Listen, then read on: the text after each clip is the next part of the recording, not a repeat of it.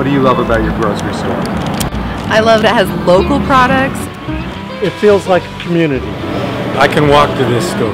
It's got a lot of organic food, it's local. Because they have good prices. What do you love about your grocery store?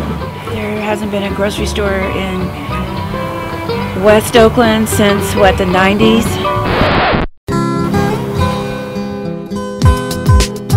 This is West Oakland. It's a diverse neighborhood with a lot of families that are really proud of where they live, who want to be more connected to the community, and also want fresh and healthy food. Problem is, there are no full-service grocery stores in this community, and there are few places to hang out and socialize. So families have to go through a lot of hassle to get to a real grocery store, or they're stuck buying overpriced, poor quality food at corner stores. Ten years ago, my friend Malika Edwards and I started a nonprofit called People's Grocery. We piloted a number of ways to get fresh and healthy food into the neighborhood, including the mobile market and the grub box. But the need for good food in West Oakland is way bigger than what our projects can serve. You see, West Oakland residents spend $58 million a year on groceries, and most of that money goes outside of the community to other stores. So now, after 10 years of working in West Oakland, we're gearing up to give people the solution they really want. We're opening a full service grocery store and community gathering place called People's Community Market that's going to be right at the busiest corner in West Oakland. It's a way that you can make an investment that creates a better place for all of us. Our store will make it easy for residents to have access to a large selection of quality fresh foods at affordable prices. But People's Community Market is going to be much more than just a grocery store.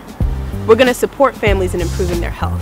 We're going to offer things like educational classes, workshops, and health services like free screenings and consultations. And we'll provide a positive gathering space called the Front Porch, where people can get together, socialize, enjoy live music, and build community.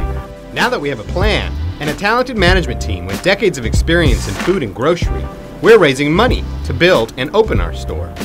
The good news is we have an opportunity for a loan for two-thirds of the capital we need. But we have to raise the rest before we can get the loan. Wall Street isn't set up to help communities like West Oakland. So we're going to skip Wall Street and go directly to people like you who want to invest in local business and support healthy communities. We're going to create 50 local jobs for the community in the community. You have the opportunity to help create People's Community Market, not through a donation, but through an investment.